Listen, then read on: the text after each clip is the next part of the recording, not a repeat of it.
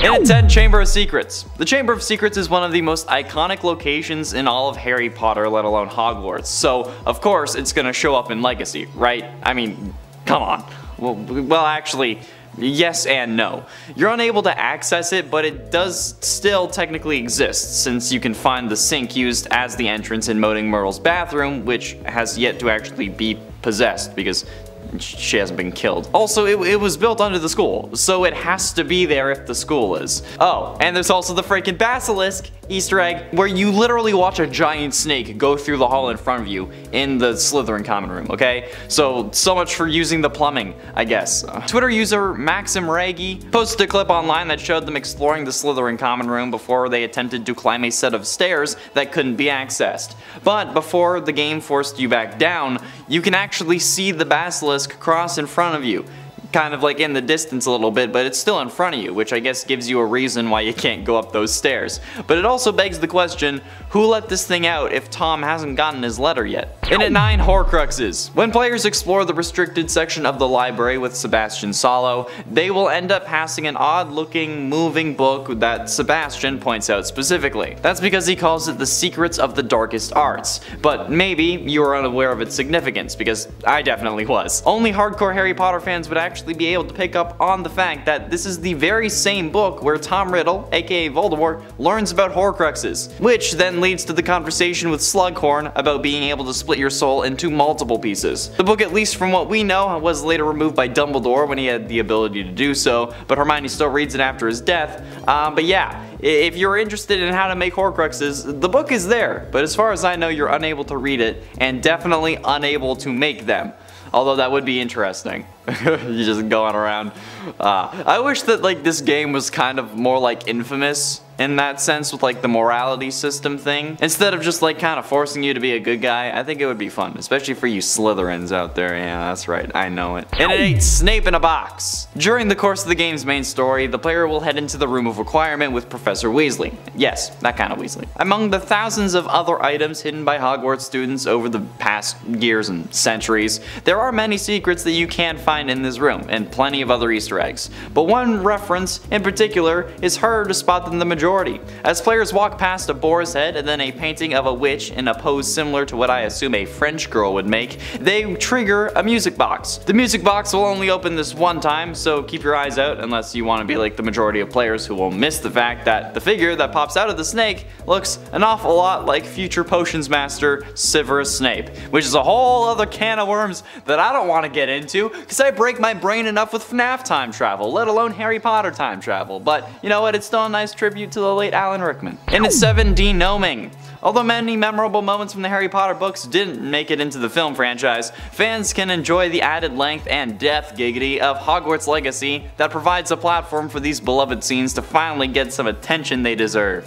One such moment that fans hold close to their hearts is when Harry helps the Weasleys degnome their garden. In the game, players get a taste of this classic scene when they attend their first herbology lesson. Leander Prewett, an ancestor of Molly Weasley, shares his own memories of degnoming and how he used to swing the gnomes around until they were dizzy before shooting them off as far as possible in the hopes that they would be too dizzy to actually make their way back to the garden. This entertaining and memorable scene is sure to delight fans of the books and provide a fun and exciting addition to the game, although I kinda wish that we could have done it. Okay, that would be that would be a great minigame. That would that would be a fun way to ruin a joystick. Okay, and I swear I didn't mean for that part to sound dirty. And it's six Elephant on a Bicycle, Harry Potter and the Prisoner of Azkaban. The third installment in the series is widely regarded as one of the best. I mean, I, I find it to be kind of bland, but I guess that's personal opinion. The movie is shorter and doesn't really have uh, that much going on aside from time travel, but again, like I said, I'm not touching that with a 10 foot pole. But one scene in particular that stands out in the film is when Harry and his fellow Gryffindor classmates in their third year are sampling an assortment of sweets in Gryffindor Tower. This small but memorable moment showcases the boys hilariously impersonating various animals brought on by the candies, including an elephant and lion until Harry tries one that transforms him into a freaking steam train or something. I don't know what happened there. He looked like my mom after I leave a, a spoon in the sink for too long. But interestingly enough, fans of the series can actually eat the same sweets in the game and have their effects as well. Yeah, by visiting Honeydukes and finding the elephant on a bicycle poster, players can enjoy these magical sweets and you can be an elephant on a bicycle, or you can be a lion, or you can be a spoon in the sink. Halfway through into number 5, Wendelin the Weird. Wendelin the Weird was an eccentric British medieval witch who was famous for being burnt at the stake no less than 47 times in various disguises. Yeah, that's right damn straight. During the Middle Ages, Muggle witch hunts were at their peak, alright? Kind of obvious, you know, Salem. Uh, stemming from the desire to experience a pleasant tickling sensation from the flame freezing charm, Wendelin took it upon herself to be captured no less than 47 times in various different disguises and looks to be repeatedly burnt at the stake. With the use of the flame freezing charm, the pyres were rendered harmless, creating only a gentle tickling sensation, which Wendelin enjoyed immensely. That's a kink I didn't expect to learn about, but hey, it's a thing. During the 1890s, a tapestry of Wendelin the Weird hung at Hogwarts Castle, a tapestry that you can find in Hogwarts Legacy. One that quite a few people have also noted looks a disturbing amount like She Who Must Not Be Named, you know, the author. Most notably for me though, I saw this in a TikTok which I think has since been removed and not by the creator, which sucks, because that's funny as hell. In it for talking mirrors. In Hogwarts Legacy, players will come across various talking mirrors that provide commentary on their appearance. These mirrors may offer compliments on the player's fashion or, or just natural born beauty, or they'll insult you to your very core. These talking mirrors are actually an easter egg as well, and they draw inspiration from Harry's experiences with talking mirrors at both the Weasleys and the Leaky Cauldron. Fans of the book series will also appreciate the humor and witty remarks found in the game that are very similar to the books. You can be greeted with pleasantries such as quote, what a lovely treat to have you walk by, be sure to pass by at least once a year, twice if you can, and quote, my what a striking face, you'll make quite the portrait one day, I wouldn't want to be hung next to you, uh, which doesn't exactly feel like a compliment, but I, I get the sentiment behind it. Um, but also, you, you'll, you can experience the deepest of cuts like quote, oh, don't tell me, that's muggle fashion isn't it? Can always tell so very drab, which really hurts, okay? Because why are these mirrors hating on suits? Suits are cool. Exhibit A, look at any of the videos when I'm wearing suits. Uh, I should have worn a suit for this video. I'm real. I wrote that when I was wearing a suit. So, yeah, it was supposed to be a Barney Stinson reference, but it, I guess it kind of fell through. Getting close to the end in number 3, Trophy Room. A delightful Easter egg in Hogwarts Legacy awaits those who venture up to the Trophy Room from the Grand Staircase. Here players can discover a Hogwarts Herbology Award presented to the current Herbology professor, Mirabel Garlick. The trophy was awarded to Mirabel in her 7th year at Hogwarts in recognition for her impressive work with flora, including mandrakes, mistletoe, bubotubers, and bouncing bulbs the latter two of which sound like things I shouldn't be talking about on this channel. The trophy room is also home to other nods to the main series such as the casket that houses the Goblet of Fire. Overall, this hidden treasure adds another layer of depth and authenticity to the game and also it offers players a chance to discover more about the world of Harry Potter. Plus we all we all love a good trophy room, right? Don't we? Or is that just the, the king in me coming out? I don't know. Hopefully the DLC that everyone is assuming we're going to get even though it's five days after release will be a Triwizard Tournament one. Because like, yeah, I like the Chamber of Secrets and all, but like a Triwizard Tournament would be so much cooler. And plus, depending on what you're in, you're in, you can like try to like sneak into the trophy room to put your name in the cup.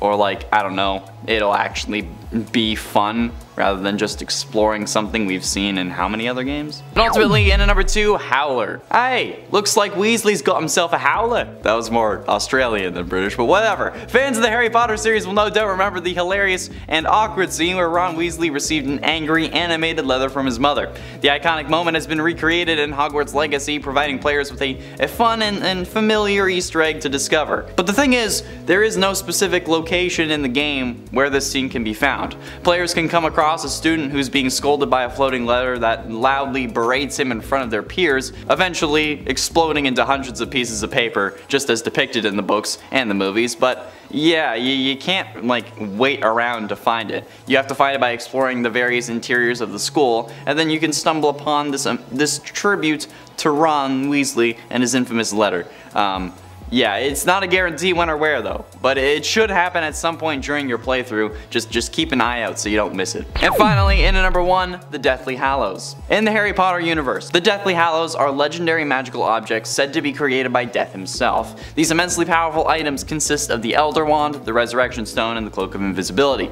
The Elder Wand is renowned for its unbeatable power, the Resurrection Stone can summon the spirits of the dead and even bring people back, and the Cloak of Invisibility is kind it's kind of in the name. If you're wearing it, you're invisible. Excitingly enough, these three items actually make an appearance in Hogwarts Legacy albeit in, in, in, a limited capacity because let's be honest, that makes sense. During the third Keeper trial, players are transported to a storybook world where they can encounter the Deathly Hallows. Though players can't necessarily wield them in the game, this subtle nod to the books and movies will no doubt thrill fans who wanted to actually see these in the flesh, or as close to it as they can get. But then this also begs the question, how did Dumbledore get the wand? Or how did like James get the cloak? And how did the stone get in the snitch?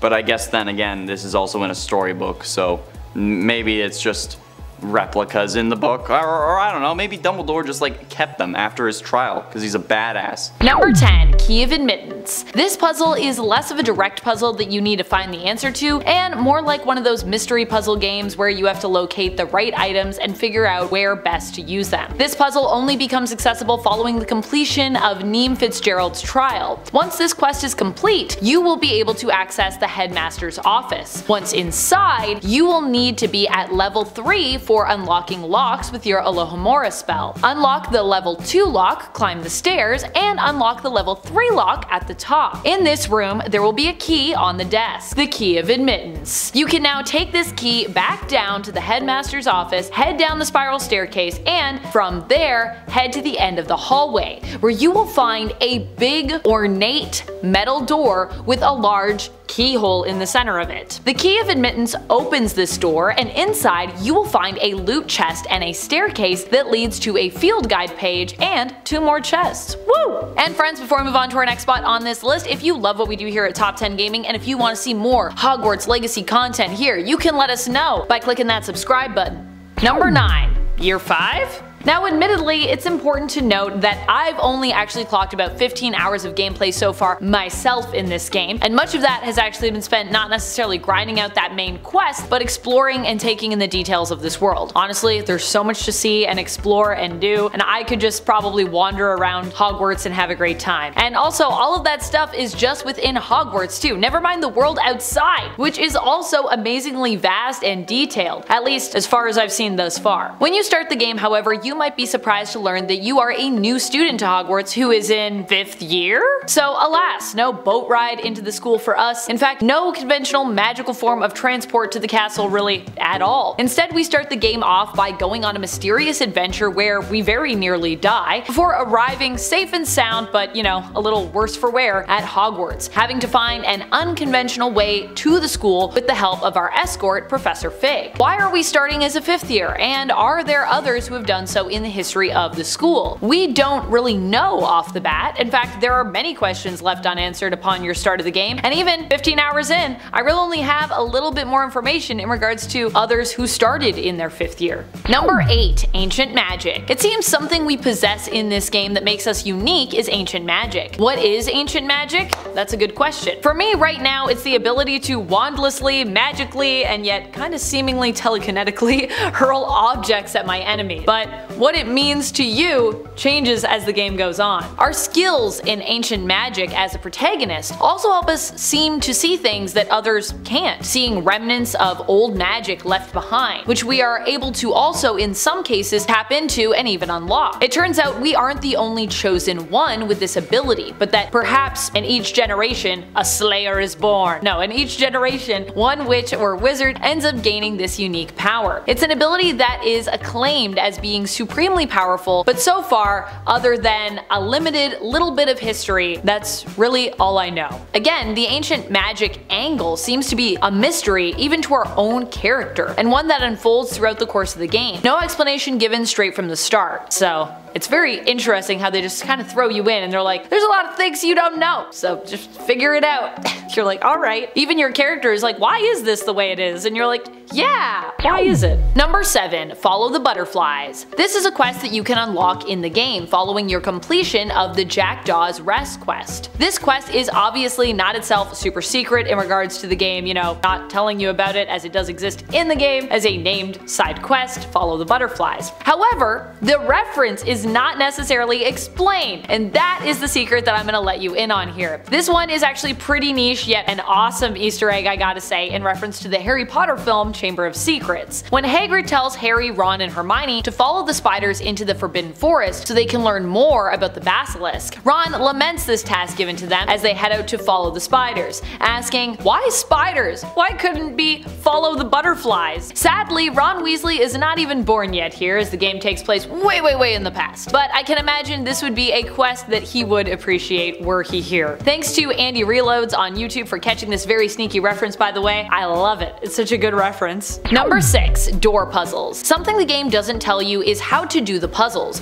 though I mean, of course it wouldn't, what would be the fun in that? However, as much as I love puzzles, I even struggled with some of what I would consider to be somewhat more basic ones. Or, you know, maybe they're not that basic and I'm just not giving myself or the game enough credit here. Maybe I should be like, you know what, I'm sure other people struggled, that's why I'm gonna tell you about it. Here's the deal, I'm gonna let you in on one of these pretty important secrets, because you're gonna see these door puzzles pretty much soon after you start playing. I was close to solving this one on my own, I did end up needing a little bit of help, so I'm gonna help you as well. So these are puzzles you can find all around Hogwarts, and the problem really comes from the fact that there is a specific cipher page you actually need to have so that you have all the info to solve the puzzle. Although even on my own, honestly without the cipher, as I said, I was pretty close to just figuring this one out myself. I just had the numbers a little bit off. On the doors you'll see two circles, usually with a number in the center of the circle. On the ring of each circle there will be three symbols. These symbols can either be a number, a type of magical animal, or simply a question mark or a double question mark. Near the doors you'll also see what appear to be kind of like dice embedded into the wall. When you interact with these dice they're basically to shift faces, revealing a different outward face featuring a different magical animal. The same magical creatures that are featured on the archway above the door that you're trying to open. You don't need the cipher to solve these though. All you need to know is that on the arch, the creature on the bottom most left represents a 0, and the far most right represents a 9